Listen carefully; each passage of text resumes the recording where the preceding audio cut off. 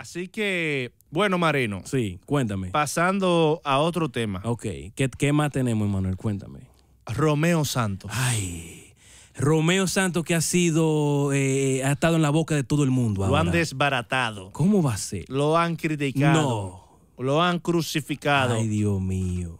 Lo, lo- lo han abatido el pobre. Aba- emocionalmente. Pero tuviste sacó un video ahora ahí hablando. ¿Tuviste Otro eso? video defendiéndose. Defendiéndose. Entonces yo pregunto, ¿para qué? Sí, Porque lo que, lo que vas a hacer es hundirte más. claro, claro. Porque lo mismo le pasó en el primero. ¿Qué es lo Sí. que quiso hacer en el primero? Caer bien. Claro. Caer también, caer también, caer Sí. también. Que termina cayendo mal. wow. Mal. Sí, no, yo me imagino. Porque la gente ve eso. Sí, El problema no es si él es del Bronx o no. Porque él lo, has- lo ha dicho muchísimas veces. ¿y cuál es el problema? I am ¿Cuál from tú the crees Bronx. que es el problema? I am from the Bronx. Ok. My mother is Puerto Rican. And my dad is Dominican. Is Dominican. Ok.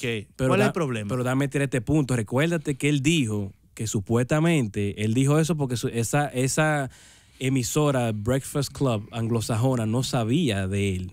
No, quería no. y que no sabe mucho de favor él. Que no sabe mucho de él. Pero él dijo que no quería sonar repetitivo. y entonces él tiene que decir, empezar de nuevo a decir Claro. lo mismo. Pero eso está bien. Pero se vio como, se vio como así, como. "Ay, Pero ven acá, no tú has leído la jodas". Biblia. ¿Tú sabes quién es Pilato? No cuenta. ¿quién, es- quién es Pi- Ah, que se Cuando lavó él, la le- mano. cuando él le preguntaron, Sí. él no lo dijo bien, pero las expresiones fueron así, como que. Como, me la, "Ey". me la, me la. Sí, pero que. Sí, pero yo soy, tú sabes, Sí, yo soy mitad. Yo no, yo no tengo que ver con esa vaina. Y eso se vio en el video de- Claro. de, de- y de- entonces vi, no, pero estaba aquí ya porque hizo ese video el día del padre, ayer fue el domingo, ¿verdad? Ayer hizo otro, Coño, otro pa- pa- video. Romeo está hablando cosas y está fuerte. Tiene que estar fuerte. No, Está que le cayó medio mundo arriba. No, di que, que esos comentarios están que dan. Sí, le Wow. cayó medio mundo arriba y él tuvo que defenderse Claro. para tratar de arreglar las cosas porque realmente Claro. Él no lo dijo completo, pero. Pilato quería quedar bien con todo el Con mundo, todo el mundo. con el inocente, con, con, lo- con los romanos, con, con los judíos. Mira, es como yo digo, nosotros Eh, estamos haciendo esta cosa, ¿verdad? Entonces, uno como persona, uno sabe que uno le cae bien, uno le cae bien a cierto tipo de personas y a cierto tipo de personas no le cae Exacto. mal. Tú no puedes caerle bien a todo el mundo. Y es el error que cometen muchos artistas. no podemos hacer un podcast de que para agradar a todo el mundo, No. porque la gente va a ver que lo que somos dos y para todos. Sí, después. ajá, entonces, pero la gente no van a ver como su ídolo. Que, que, wow, Entonces- qué bien. van a entonces- seguir nuestro contenido, lo que sea. Hay gente, Ujú. artistas, que se la han- eh, eh, tienen un marketing. No, terrible. Porque Romeo, Pero yo alguna le echo gente eso le la culpa mal. a Instagram porque la gente tiene Oye. ya un contacto tan... su- Porque antes vamos a poner un Luis Miguel, un Juan Gabriel. Ellos tenían contacto, pero era en, en los conciertos. Ya, ya. Y tal vez escuchaban un wey, bu, bu". Una- Pero una- aquí tú entras a Instagram y tú ves un tipo de comentario que tú lo que quieres es ahorcarte la vida. O sea, hay que prepararse. que tú quieres. Tú sabes que, por ejemplo, hay, hay personas Sí, que caen mal. Romeo no siempre caía bien. No. Hay gente que no le gusta. Hay gente, hay gente que dice que Romeo tiene la voz de chivo cuando lo están desgalillando. Sí, sí. No, y ¿Sabes? cuando va a hablar de que, eh, escúchame, eh, Sí. República Dominicana. Sí, medio, ah, ah, ah, que es mari- medio mariconeado, sí, algunos dicen. Sí, Entonces hay gente que inevitablemente él no le cae bien. claro. Ahora bien, No, eso papá tienes mío que lo odia, el aceptarlo. papá mío no quiere saber, Romeo. Mi papá lo odiaba. También. Entonces hay gente que no quieren saber de él. Claro. Acéptelo Claro. y de su punto de vista libre, Ya. natural. No, pero que ya yo pero veo que se la gente ponen a pajarearse Sí. y hay que buscar esto. I'm from the Bronx. Pero no Eh. quiere que lo involucren ni que con la Sí. violencia y con la vaina. Claro. Y quedó atrás. No, ya, Oye. y ya todo el mundo se lo ha comido vivo, manín. Yo Oye, me imagino le esa ha vaina. tirado durísimo, wow, papá. wow. Durísimo. Pero nada, Romeo que lo coja ahí si él sabe que él es el ídolo de la bachata. Pero yo creo que ya Romeo también. ¿Tú crees que tiene que entregar la antorcha o le quedan un par de años bacanos? ¿Qué, qué, qué tú piensas sobre eso? Mira, primero que Romeo es un gran artista que puede sorprender, No, claro. pero las cosas Están cambiando. están cambiando. Sí. Están cambiando. Y él no se ha sabido adaptar bien. Sabes que el álbum pasado no fue muy exitoso. No, ese álbum. Y ahora tuvo que grabar con todos los para dominicanos. poder buscarle- tener un poco de sonido, Sí. como dicen. Él estaba ¿Y batido. tú crees que vaya a llenar ese MetLife Stadium? ¿Qué estás diciendo? Él puede llenarlo porque tiene un- una base de publicidad muy buena. Bueno, pero el Pachá dijo que Romeo es uno de los tipos más sabichosos para llenar el concierto, porque Sí, ellos dan toda la, toda la taquilla de atrás, ellos la dan primero. Ellos la dan. Aparte de que dan la boleta, Sí. ellos dan much- invierten muchísimo en No, publicidad. ah, no, eso es. ¿Sabes que la gente a lo que le gusta es el bulto? Ah, claro. No, ahorita ya sale que está soldado y no está soldado nada. Y no está soldado nada. ya Entonces tú sold dices- Live by Romeo Santos. Está, está soldado, entonces cuando tú. ah, Mira de gente metiéndote Sí. vaina. ¿Tú me entiendes? Y tú ves Ticketmaster que la gente está ven- todavía, está vendiendo. todavía- ay, no, que te voy a conseguir una. No. no, está fuerte. Ellos eso. hay. Está fuerte eso. el- eso, es- ese negocio no funciona siempre así. Ya, no, claro. Eso de que llenar el, eh, llenar el Yankee Stadium, Stadium, Stadium. Stadium Sí. por dos días consecutivos. No, él ha hecho sus cosas. Él ha hecho No, sus cosas. eso fue grandioso que lo Eh, llenó un día. Él ha hecho sus cosas. porque él lo llenó un día. Claro, claro. Cuando ellos empezaron a ver la estadística Claro. de que ese se iba a llenar, Sí. de una vez empezaron a abrir el otro. No, claro. Y no, pues hacemos- vamos a decir, aquí dice la verdad, Romeo tiene una fanaticada grande, vamos a admitirlo. Grande, pero no es fácil sabes- llenar, llenar dos días Y tú consecutivos. sabes qué es lo que yo creo que le está faltando a él.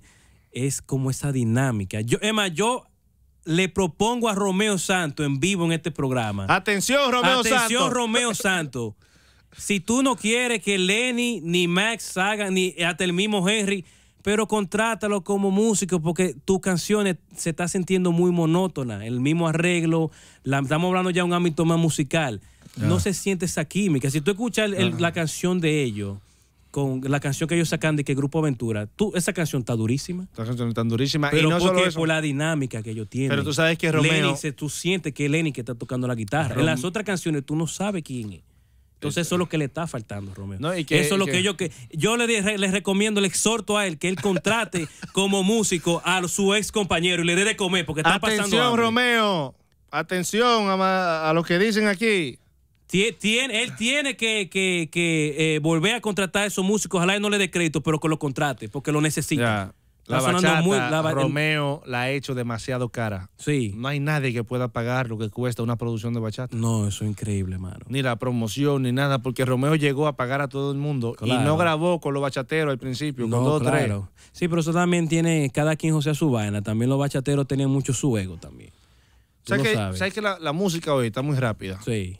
No, no que está rápido, que hay mucho material. Sí, hay mucho material. Y aparte que hay mucho material, hay mucha forma automática Y- ya eh, y yo creo que la gente está más, más, más, más ocupada. Ahora la gente está, tú me entiendes, antes uno poner que tú hacías cuando eras joven. Tú estabas, era... Tú no puedes internar un grupo nuevo casi un año Claro. a trabajar una producción de Sí. bachata, ensayar y todo, claro. y grabar, Sí, sí. si, si no hay comida de una vez. No, ah, también, eso es verdad. Entonces, ningún empresario ya se quiere arriesgar Sí. un año de, de, de De pre- producción. de producción de la bachata, claro. Eh, tantos meses de promoción después, Sí. imagen y todo, Sí. y después que no sea un éxito la No, cosa. pero también ahí va el tipo de persona, el lajo que tenga, porque hay personas que son súper talentosas y si no tienen ese público, nadie va a invertir en ellos. Ya, Porque tú, uno, un ejemplo, Cardi B. Mira, Cardi B, eh, ella invirtieron porque ella tenía un par de seguidores bacanos. No, y que está. ella y hay gente que es rapera que son más duras que ella. Y todavía. había un vacío también de, de ese tipo de, de- de música. Faltaba una rapera así. Sí, una porque Nicki rapera- Minaj estaba, pero Cardi Sí, B. Pero sabes que cayeron eh, incluso la de la de Pops,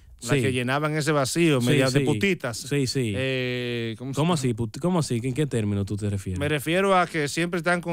eh, Tú dices un- que hay una guerra. oh my que hacía God. falta una Ahora, guerra. ahora se me fue eh, eh, los nombres de las que cantan. ¿Quién? las que cantan Pops, de la Blanquita. Pops. Oh, Taylor Swift. Tyler Swift. Taylor Swift. eh, la que canta. Está Dua Lipa eh, ahora. Roar, Roar, ¿Cómo se llama? eh, Katy Perry. Katy Perry. Sí. Eh, que, que hacen falta esas la estrellas. que, eh, Hannah Montana. Que Hannah traba- Mo- eh, ese Miley Cyrus. Miley Cyrus. O sea, esas estrellas tuvieron un momento apagada. Oh, ya, entonces ya se coló. Nicki Minaj no tenía fuerza. Sí. Rihanna estaba por otro lado, Ya. con sus millones y Sí. todo. No, mujer Y rica. casi no tenía presencia ni en ninguna parte. Claro. Entonces llegó Cardi B y metió su, su, su, su potencial. Su potencial ahí. Entonces su ahí- barrial del Bronx. Pra, metió el Bronx ahí y lo logró. No, no, pero recuerda que ella tiene una fuerte asesoría con esa gente de amigos y esa gente. Ya. Duro, duro, No, no, duro, ellos duro. Entonces, Romeo Santos tiene que saber que ese personaje que él hacía, el hombre que le coge la mujer, king, el eh, king, el king, el que le coge- king. ya, ya, Ya no está sé, quemado, ya, ya. Está, ya está un poquito. eh, con Bad Bunny la cosa se ha rabalizado más y él No. tiene que bajarle un poco a- Claro, no, al ahora. Bad Bunny es que pisotea a todo el mundo, loco. Él Sí, agarra sí, a sí. tu mujer y te la vuelve un Exacto, 8. Exactamente. Entonces un ocho te la ya, vuelve. ya yo creo que Romeo. Sí, Romeo tiene que ya. Pero Romeo es muy bueno, ¿sabes? No, pero yo le exhorto a él que él haga eso. Yo, como visionario, que si tú ves el com- porque yo me gusta leer los comentarios, lo que dice la gente, wow, qué bien se ve Lenny. y esto". La gente le gusta esa dinámica. Le, le- la la gente quiere volver a ver aventura. No, que Aventura fue, Aventura fue un éxito. Pues claro, loco. Total, to- todo el tiempo. Pero esa gente hubieran en el día de hoy todavía juntos y tuvieran. Tu... Es más, si Romeo tuvo eso, ellos hubieran tenido más éxito todavía. Éxito, exactamente. Para que lo sepa. Pero siempre hay uno, como dice, que la daña toda. Exactamente. Y en ese caso fue un familiar, como siempre.